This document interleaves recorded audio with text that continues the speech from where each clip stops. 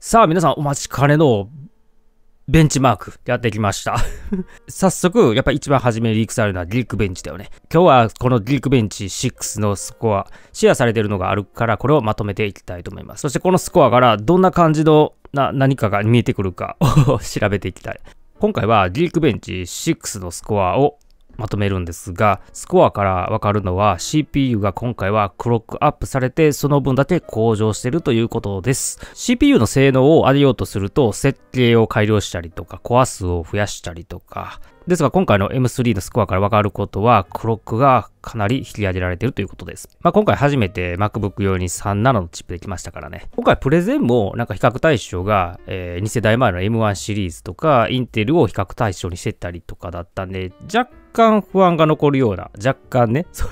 そんな感じのプレゼンやったから、まあ、スコア見ていこう。さて、Geekbench 6、MacBook Pro 同士で M2 チップを採用したものと比較してみましょう。M2 はクロック速度が 3.49GHz に対して今回の M3 は 4.05GHz まで結構引き上げられましたね。これにより、まあもちろんシングルスコアも上がるでしょう。M3 は M2 に比べ、スコアがこんな感じです。シングルが2500台から3000台に乗ってますね。M3 は M2 に比べて最大クロック速度が約16%高くなり、このシングルコアのスコア上昇はクロック速度の増加によるもので、シングルスコアの時に走ってくれる OT4 のコアの設計の改良とかはほとんど関係ないようですね。今回は改良を全くされてなかったかな。スコアでも17%の向上ということなんで、まあ、クロック上がってスコアも上がった。次はマルチコアのスコア。OT4 も小さいコアも全てのコア8コアをまとめて全力で走らせた場合のスコアがこれ。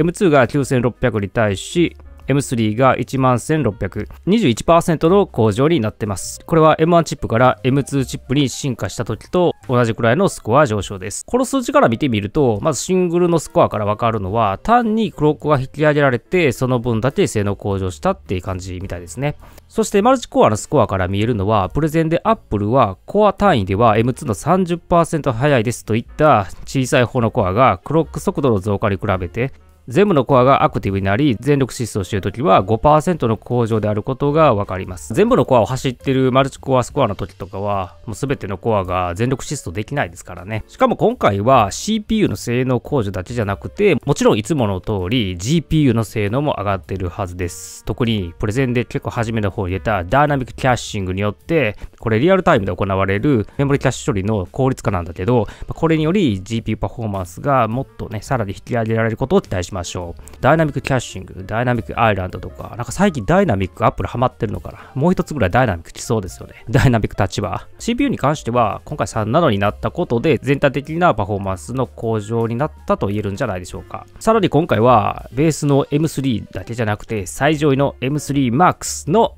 スコアも出ていますので見てみましょう。なんとコア数が16コアまで増えてますからね、これマルチコアのスコアにめっちゃ期待ですよね。さてこれも前回の M2MAX との比較になります。M2MAX は12コア、M3MAX は16コア。クロック速度は 3.66GHz から 4.05GHz に約11%上昇してます。シングルコアのパフォーマンスは9%高い結果です。2736 vs2971 最大クロックの速度の向上に比べて少ないように見えますが、列制限またはテストのばらつきのためかもしれませんと、いろんな記事で紹介されています。M1MAX の時に2400ぐらいだったっていう情報もあるから、若干なんか低めな感じはしますよね。発熱とか電力制限とか書かれている記事多かったけども、シングルコアのスコアでしかもリークベンチですからね、そこまで制限かかるのかな。とまあ M1MAX から見てみると、なんか M2MAX があのシングル割りかし早いなっていう感じするんですけど、まあこのスコアに関してはちょっとまたね、情報更新されるかもしれないし、待ってみようと思います。次はマルチコア見てみましょう。マルチコアのスコア43%と大幅に向上してますね。まあ、これは理にかなってますよね。今回コア数が16になってますからね。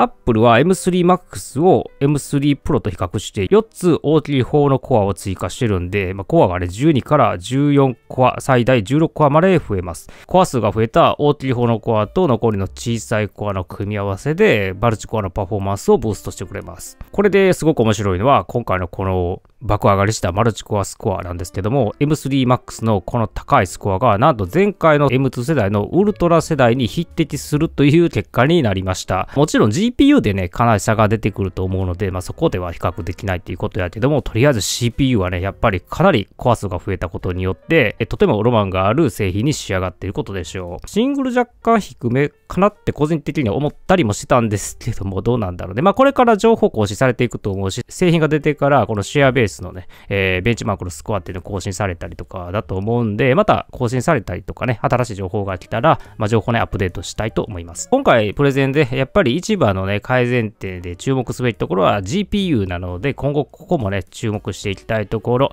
今回は、ま、ダイナミックキャッシングのこともあるんだけど、その他、まあ、ビデオのエンコードデコードエンジンの改良であったりとかね、さらにもちろんニューラルエンジンも改善されていますので、他の部分でもパフォーマンスは上がってるでしょう。とまあ、3ナノになって、まあ、とりあえず発熱問題はまだちょっとテストで今後の結果を待つということで、まあ、最大スコア、ピークのスコアは上がってるということが分かりましたので、一安心。対するライバルインテルと AMD、この2社にどんな感じでこの MAX チップが対抗できるのかを考えていきたいですね。今回は MacBook Pro に採用される M3MAX チップだから、もちろんインテル、AMD もノート用のチップで比較しないといけないですね。インテルのノート用のチップのハイエンドのものは Core i9-13980HX これを採用したハイエンドのノート PC の最新スコアはシングルコアで2900、マルチコアスコアで18900です。これは M3MAX と比べるとほぼ同じぐらいのシングルコアのパフォーマンス、そしてマルチコアのパフォーマンスは約9%遅い結果になります。この種のインテルのチップを採用したほとんどのノート PC はコンセントに挿しているときはこのピークのパフォーマンスは出せるけども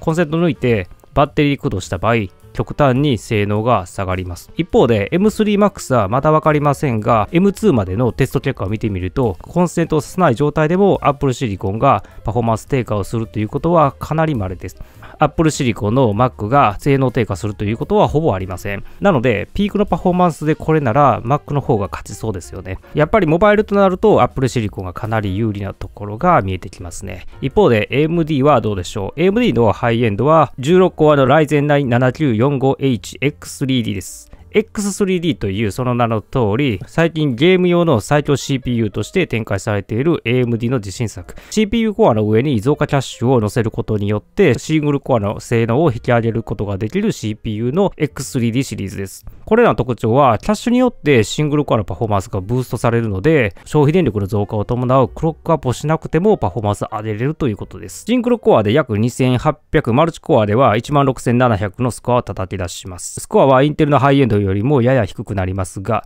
AMD の場合はね、ギークベンチ以外の、ま、多くのタスクでキャッシュが乗ってますので、この大きさを活かしたような処理であったりとか、まあ、クロックを上げるよりもね、省電力とみなされることが多いので、まあ、利点はあります。それでも長時間ね、負荷をかけるようなテストだったりとか、タスクの場合は、やはり両方と比較しても M3MAX の方が強くなるんじゃないかなと今のところは予想してます。まあ、もちろん MacBook 値段めちゃめちゃ高いから 今、M3MAX が最低でも50万すか。さすがになんか Windows と比較してもさ、破格だよね。めちゃくちゃ高いなんかスーパーハイエンド買っても50万超えるってなかなかですもん。今回オプションで100万超えとかありますけどもね。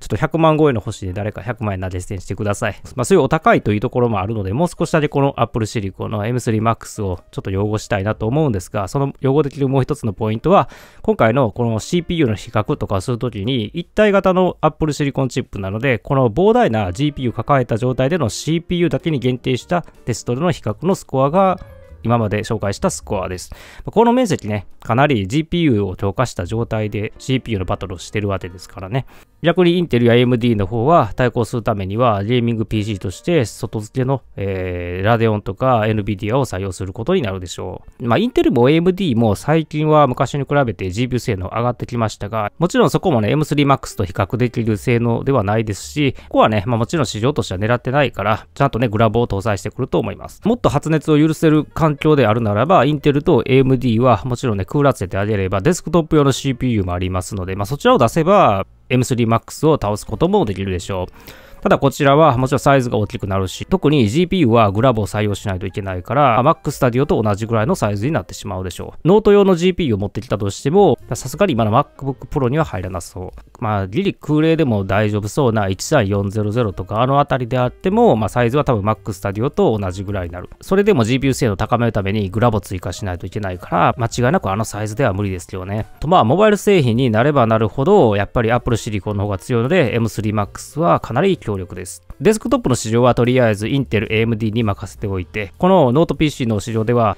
来年以降はライバルが出てくるかもしれません。 Snapdragon X Elite シリーズ。こいつが市場にノート PC として投入されるでしょう。X エリートはクアルコムが提供したベンチマークではシングルが2900、マルチコアが1万5000とアップルの M2 を打ち負かすと謳ってましたね。これは2024年にまだ何の製品で来るかとかは発表、メーカーとか出てなかったと思うんだけども、80W でね、駆動する12コアの大きいコアだけを採用した、えちょっと特性が違うチップになっています。。Apple シーコンと同じ ARM 系ということで、まあ、80W 駆動で、まあ、感覚としては、まあ、GPU 性能をちょっと今の Apple シリコンからある程度妥協して、コアの強さに割り振ったので、Mac よりも発熱するんだけども、パフォーマンスがめちゃ上がるっていう、そういうところを狙っているような製品に、今のところは、えー、チップからは見えます。今のところ、その 80W 以上の電力が必要な、そのチップのスコアからは、残念ながら最新の M3Max には勝てそうにはないっていう感じですが、特に GPU 性能がね、M2 と同じぐらいだったかなと思うので、まあ、この GPU に関してはかなり割り切った、えー、ところもあると思うし、そうであれば、もしかしたら Apple でもね、期待してたんだけども、追加でグラボを、えー、採用するという、そういう組み合わせだね。スナップドラゴンとグラボの組み合わせで、ゲーミングを構成できるとかね、そういうものが想定されているのであれば、なかなか面白いんじゃないかなと思います。グラボ採用すると逆にね、M3Max の方は、この抱えてるグラボがちょっと無駄になってね、まあ、いわゆるちょっと邪魔になる可能性もあるので、そういったところでは、ま、効率がゲーミングとしては効率がいいような感じもね、しますけどね。まあ、もちろん Apple Silicon に魅力を感じてるけども、自分は Windows OS じゃないと使いたくないっていう人たくさんおるから、まあ、このスナップドラゴンが来年以降ね、Windows でどんどんね、Windows 入るんだよね。まさか Chromebook だけとかじゃないよね。さすがに Windows に入ってきたらかなり需要はあるんじゃないかなと思いますよね。まあそれとね、対抗するように、まあこの50万超えからね、スタートになった M3 Max ですが、これもちょっと値段をね、えー、もうちょっと押し下げるぐらいのね、ライバルとしてスナップドラゴンの方も成長してほしいなと思ってます。さて、ベンチマークは今回は以上です。おや、一番肝心なみんなが知りたがってる M3 Pro がないよっていうとこなんだけど、うん、今回はこの2つにしておきましょう。M3 Pro はもちろん気になるけども、これは単にギークベンチだけじゃなくて、もうちょっと詳しく見る必要もあるよね。今回は、まあ、トランジスタ数が減ってるということで、まあ、いろいろもしかしたらダウングレードしてる部分もある可能性もありますので、ちょっと今後、えー、特にここを注視してね、えー、情報を出していきたいと思います。ということで今日は M3 ベースと M3 Max だけになったけども、この2つを、まあ、ライバルとの比較とかもね、兼ねて、えー、紹介してみました。じゃあまた次の動画でお会いしましょう。バイバイ。